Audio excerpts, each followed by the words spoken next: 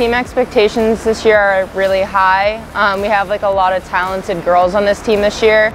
We're kind of divided into upperclassmen and first years, but we all connect really well on the court, which is good to see, especially since it's only like day five. Um, so yeah, we have high expectations for ourselves, and we're just here to work really hard and reach our goal to hopefully making the GNAC playoffs. Um, yeah, so very high expectations. I'm excited. Our team connection is really well. We've been doing um, sessions every day with team bonding.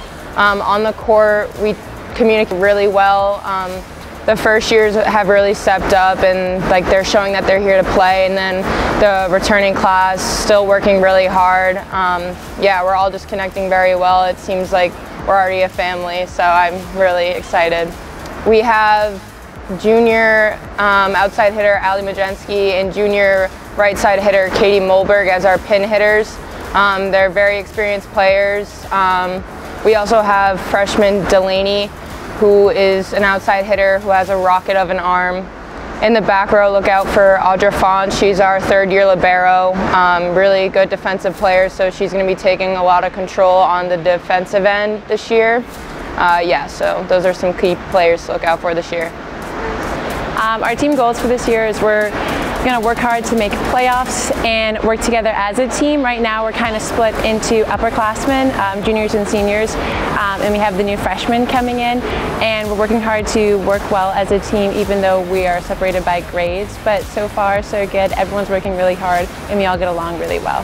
So we have head coach, um, Coach Dave Starin, and we have assistant coach Eric um, they both work really well together. They actually coached um, before together and Coach Dave brought him in for this year to help assistant coach. Um, and they, Coach Eric is more, um, he's not here all the time, but he's here whenever he can. He coaches high school as well. Um, he's a great dynamic. Um, Coach uh, Dave is really hard on us and really pushes us and shows us where we need to work on. And Eric help blends that with encouragement um, and helps us find those little pieces to make the things happen.